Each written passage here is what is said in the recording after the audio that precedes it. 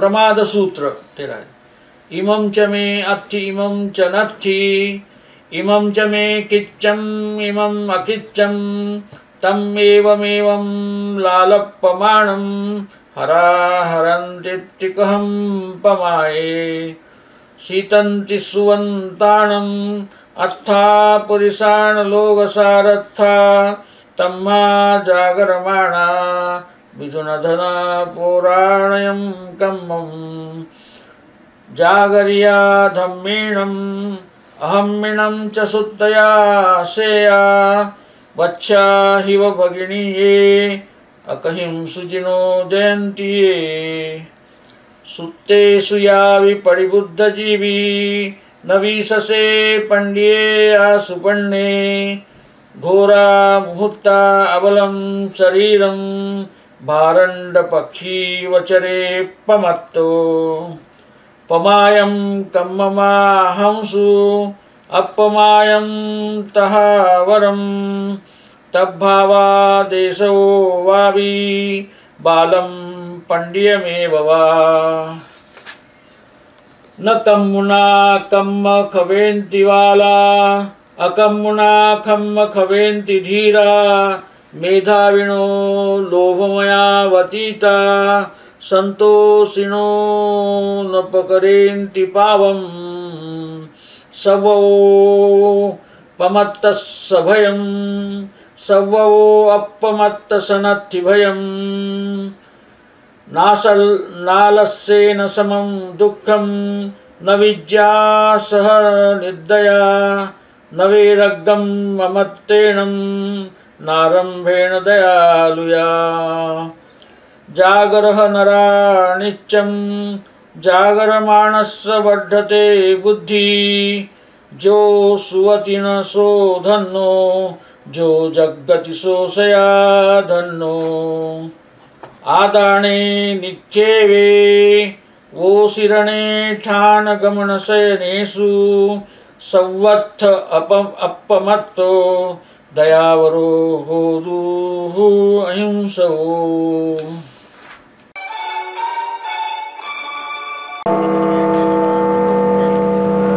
सूत्र thirteen.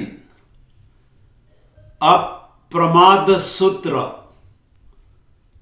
Precept on vigilance English rendering Gatha 160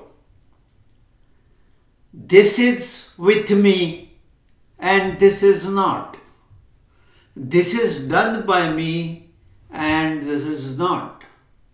Even while a man is fondling thus, he is removed away by death. How can one be careless in this state?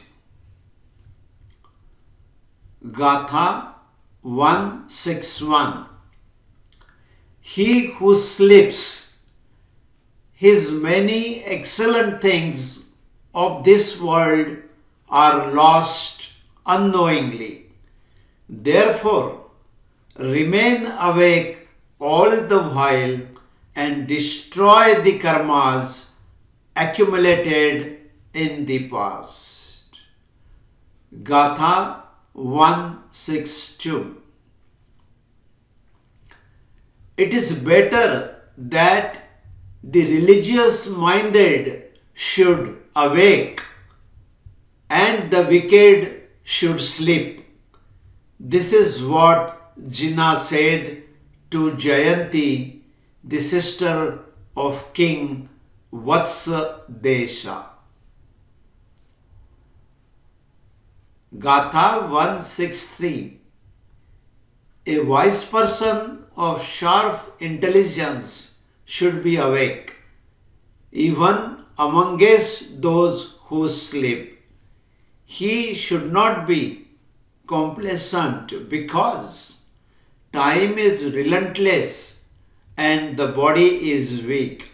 So, he should ever be vigilant like the famous bird Bharand. Gatha 164. Careless is the cause of karma, that is the inflex. Vigilance stops it. He who is invigilant is ignorant, and he who is vigilant is wise. Gatha 165 The ignorant cannot destroy their karmas by their actions, while the wise can do it by their inaction. That is, by controlling their activities, because they are free from greed and lustful passions and do not commit any sins as they remain contented. Gatha 166 There is fear for every there is a fear from every direction for an invigilant person while there is no fear for a person who is vigilant. Gatha 167 An ideal person can never be happy, and sleepy person can never acquire knowledge. A person with attachments cannot acquire renunciation, and he who is violent cannot acquire compassion. Gatha 168 O human beings, always be vigilant. He who is alert gains more and more knowledge. He who is invigilant is not blessed. Ever blessed is he who is vigilant. Gatha 169 A compa- a compassionate person who is always cautious while lifting and putting a thing, while urinating and exerting, and while sitting, moving, and sleeping is really a follower of non-violence.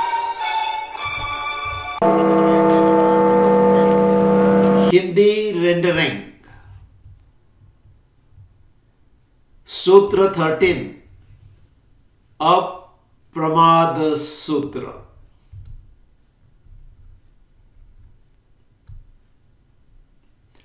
गाथा one six zero यह मेरे पास है और यह नहीं है। यह मुझे करना है और यह नहीं करना है। इस प्रकार वृथा बकवास करते हुए पुरुष को उठाने वाला काल उठा लेता है। इस स्थिति में प्रमाद कैसे किया जाए? गाथा वन सिक्स वन।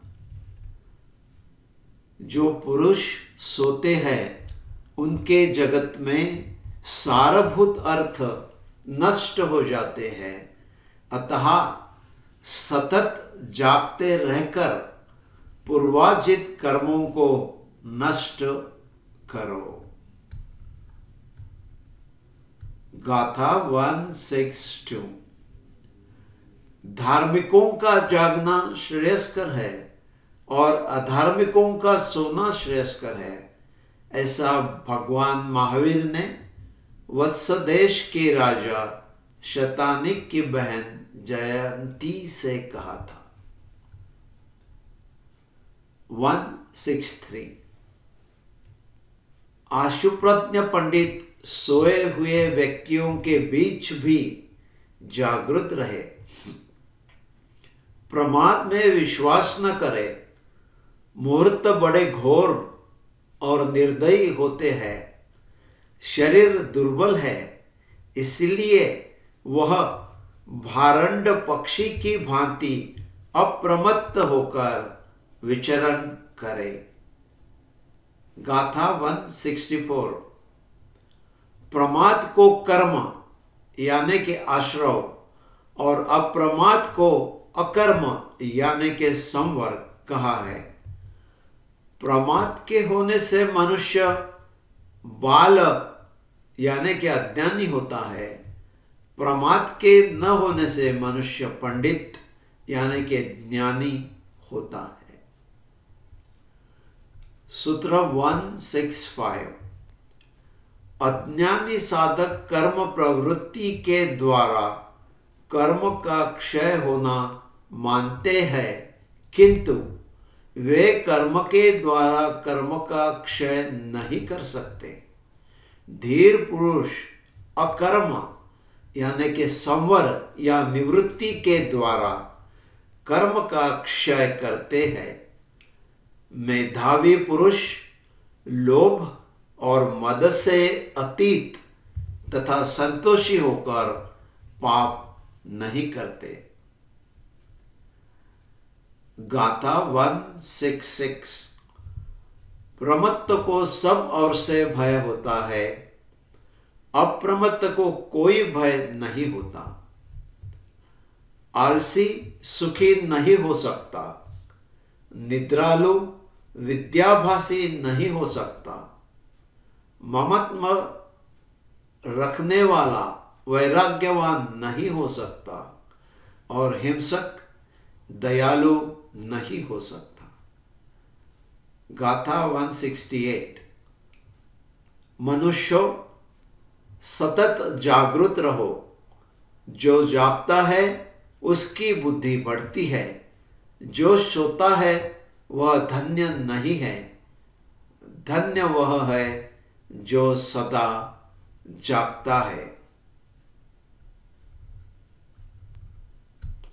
गाथा वन सिक्स नाइन वस्तुओं को उठाने, धरने में, मलमूत्र का त्याग करने में, बैठने तथा चलने फिरने में और शयन करने में जो दयालु पुरुष सदा अप्रमादी रहता है, वह निश्चय ही अहिंसक है।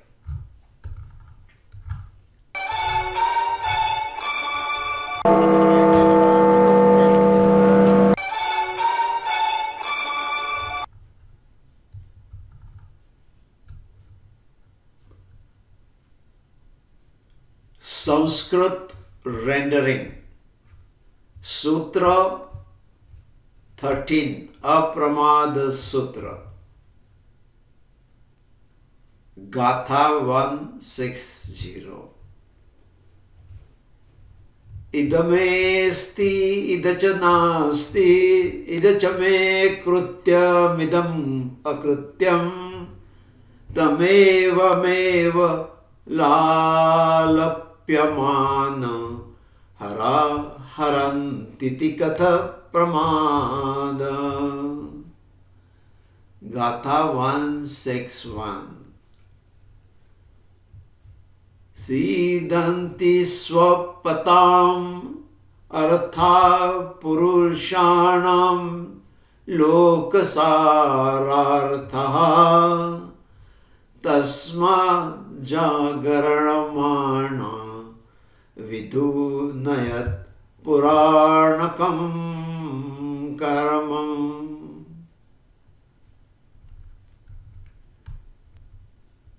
गाथा वन सिक्स टू जागरिका धार्मिणाम् अधार्मिणां च सुप्तप्ता श्रेयसि वत्सादीपभगिन्यान् कथितवान् जिनः जयन्त्या। गाथा वन सिक्स थ्री सुप्तेषु चापि प्रतिबुद्धजीवी न विश्वसेत् पंडित आशु प्रज्ञा घोरमुहूर्ता अबलं शरीरम् वारण्डपक्षिव चरेत् अप्रमत्तः। गाथा 164 प्रमादं कर्म आहुरप्रमादम् तथा परं तद्भावादेशतो वापि बालं पण्डितमेव वा। गाथा वन सिक्स फाइव न कर्मणा कर्ण क्षपयन्ति बाला, अकर्मणा कर्म क्षपयन्ति धीरः। मेधाविनो लोभमदात् व्यतीता सन्तोषिनो नो प्रकुर्वन्ति पापम्। गाथा वन सिक्स सिक्स सर्वतः प्रमत्तस्य भयम्। सर्वतो अप्रमत्तस्य नास्ति भयम्। Gatha 167 Na alasse na samam saukyam na vidya sahanidraya na vairagyam amatvena na ramvena dayaluta Gatha 168 जागृद नरा नित्यजागरमाणस्य वृद्धर्ते बुद्धिः यस्वपिति न सो धन्य य जागर्तिसि सदा धन्य। गाथा 169